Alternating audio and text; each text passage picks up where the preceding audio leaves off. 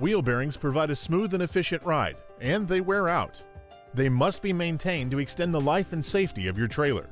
Bearings should be repacked and changed every 10,000 miles or yearly.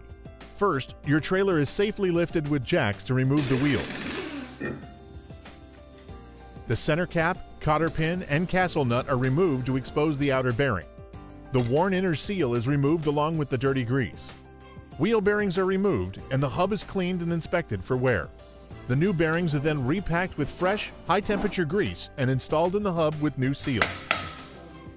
In addition, the brake shoes are checked for wear, cracking, and damage. The hub is reassembled and put back on the axle. Finally, wheel bolts are screwed on with a torque wrench to prevent damage to the studs. Call Curtis Trailers today to schedule this service on your trailer.